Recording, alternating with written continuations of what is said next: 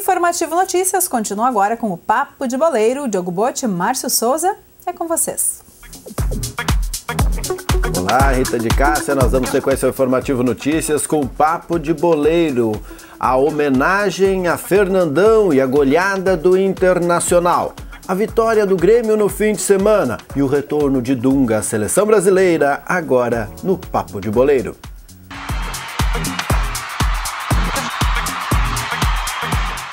O fim de semana foi de movimentação estrela e teve muita gente suando a camiseta na rústica, Diogo Bote. Foi bonito, Márcio, foi bonito. O pessoal levantou cedinho, inclusive nós, né? Cedinho, domingo de manhã, acompanhar a oitava edição da rústica de inverno da Cidade Estrela. Bem bacana, mais de mil pessoas presentes. Ah, a organização do evento confirmou 700 e poucos inscritos, né? Mas acredito que tenha superado o número de, da marca de mil aí com as pessoas que ingressaram para fazer a caminhada, né? Foi bem bacana, assim, atletas de ponta de mais de 30 cidades do estado compareceram ao evento. Destaque para Sabine, que conquistou o, a medalha de ouro no, nos 10 quilômetros. Sabine Reit, né, que é da Unisc de Santa Cruz, campeão pan-americano, já disputou até a Olimpíada, então um grande destaque aí do, do esporte gaúcho até nacional. Teve presente aí em Estrela e conseguiu, não veio fazer turismo, né? veio correr mesmo é, bom, acabou garantindo a marca dos 10 quilômetros. Bacana que esse tipo, essa modalidade está cada vez mais uh, prestigiada, pelo menos aqui na região. É, né? Tu sabe, né, Marcelo? Eu estava conversando com o secretário lá, o Júlio, o Júlio Saldanha, e eu perguntei, foi umas perguntas que eu fiz para ele, por que, que tu acha que a corrida cada vez mais ela ganha em, em importância, as pessoas têm aderido mais ao esporte? Porque na correria do dia a dia hoje, tu precisa de um esporte que tu, tu mesmo gerencie, e a corrida é um desses né? Tipo, ao, ao invés do ao contrário do futebol, do vôlei, que são esportes coletivos, onde precisa de uma equipe para acontecer, a corrida, a caminhada é do teu tempo. Então, ah, agora deu um tempinho, vai fazer e tal. Então, tipo, a corrida tem e tem ganhado amplitude maior em função muito disso. As pessoas conseguem gerenciar melhor o seu tempo envolvendo o esporte. Ele está de volta à seleção brasileira.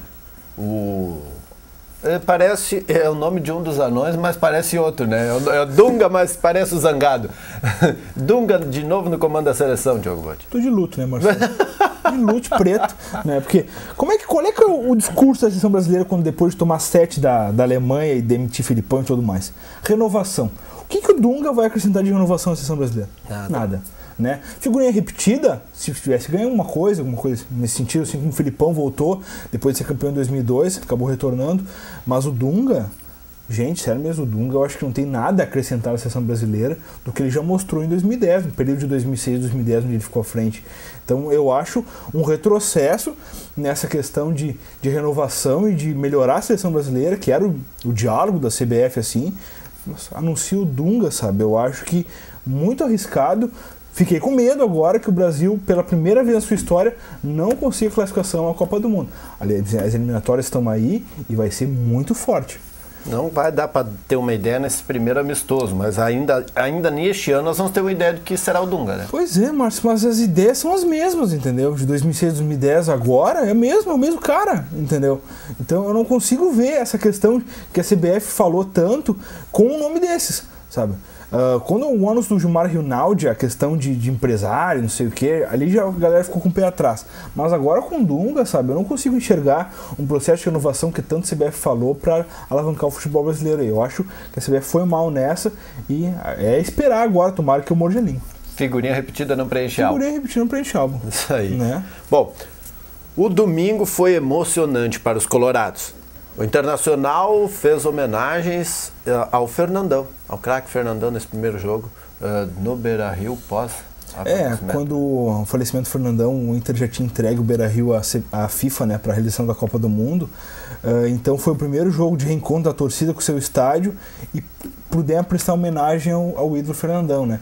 Foi bonito mesmo, a gente acompanhou pela televisão, um troço realmente muito emocionante. Quem teve lá, mais de 32 mil colorados foram até o estádio fazer, prestar sua homenagem ao Fernandão e assistir o grande espetáculo que o Inter deu em campo depois, né? Mas eu acho que a questão, o Fernandão eternizou assim, eu acho que foi uma marca muito importante e bem interessante que a torcida e o próprio clube fez com o seu ídolo. Na matéria da TV Inter, você vê a entrevista coletiva com a esposa do Fernandão, Fernanda.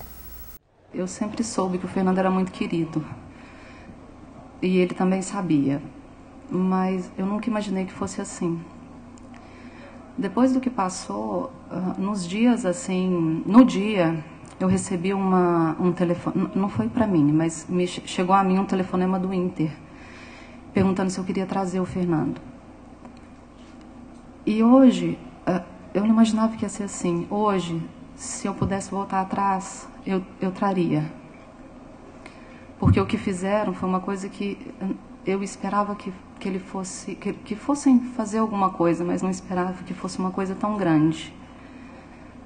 Porque ele era simples, é, ele, eu acho que nem ele achava que ele era tanto. Então, se eu pudesse voltar atrás, eu voltaria. Eu não trouxe o Fernando porque, é, em consideração a mãe e o pai, na verdade, na primeira coisa que eu pensei foi na mãe e no pai dele, que eu não podia tirar ele do lado dos pais.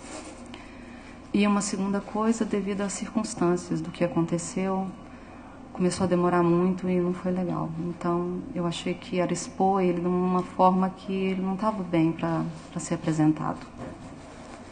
Então foi isso. Agora vendo assim, nossa, eu nem esperava, a gente passou por dentro, todo mundo cantando e só tenho a agradecer. Obrigada para todo mundo. Os filhos de Fernandão entraram em campo com os jogadores colorados e receberam de Índio e Alex uma camisa com o nome do capitão, emocionando os ex-companheiros. Perca muito grande, né? Acho que para cada um de nós, para cada torcedor. Mas, sem dúvida. Mas deixou para a gente também que nos ensinou muito também aqui nesse mundo. Principalmente eu trabalhei bastante tempo com ele. E que Deus sempre conforte na família e ele também. Em homenagem ao capitão, todos os atletas usaram uma tarja preta em sinal de luto. Além disso, as crianças vestiam uma camisa especial, trazendo à frente o nome de Fernandão e o número 9 com o rosto do capitão desenhado. E na hora do minuto de silêncio, aplausos de pé, aquele que fez a torcida toda gritar com as maiores glórias do Internacional.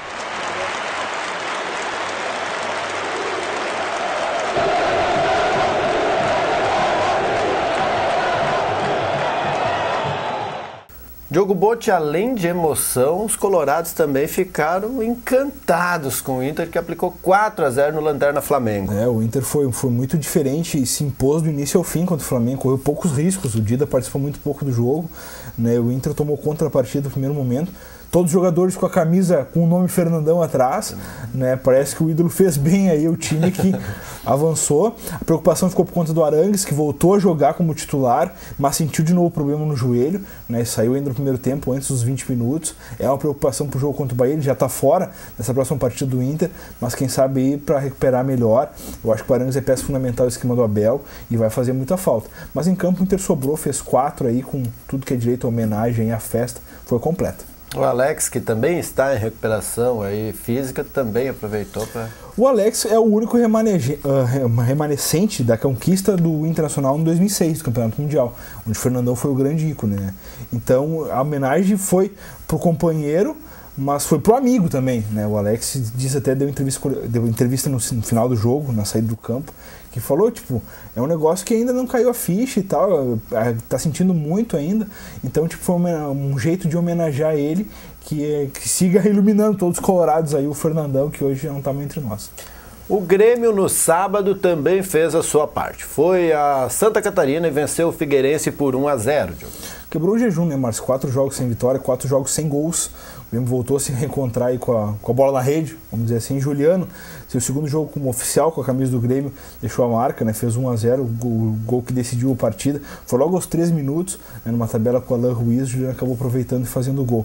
O Juliano que era, era nossa aposta para dar um outro ritmo ao meio-campo gremista e tem dado resultado. O jogador que assume a responsabilidade, parte para cima do adversário e outra, ele abre espaço para que o, os avantes consigam se movimentar e consigam chegar na cara do gol. O que está faltando ainda para o Grêmio é o Barcos. Né? O Barcos precisa voltar a ser o Barcos, que, é, que a gente já conheceu ele, mas que tem muito abaixo aí. E se o Anderson Moreira continuar com essa teimosia, quem só tem a perder é o próprio Grêmio, tem o Lucas Coelho voando no banco de reservas. É isso aí. Com os resultados do fim de semana, Diogo nós temos a classificação do Brasileirão. Classificação na tela para nós. O Cruzeiro é o líder com 25 pontos. Abre muito o Cruzeiro nessa, nessa 11 rodada aí. Seguido do Corinthians com 20. Aí nós temos um batalhão de time com 19. Do terceiro ao Fluminense. O quarto é o Atlético Paranaense. O Inter aparece na quinta posição. Seguido do São Paulo e do Grêmio. O Grêmio é o sétimo com 19 pontos. Na, 18, na oitava posição, com 18 pontos, aparece o Esporte. O nono é o Santos com 17, seguido do Goiás também com 17.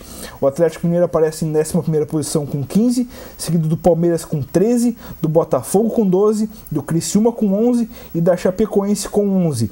O Bahia é o primeiro antes da zona de rebaixamento com 9, na 16 posição.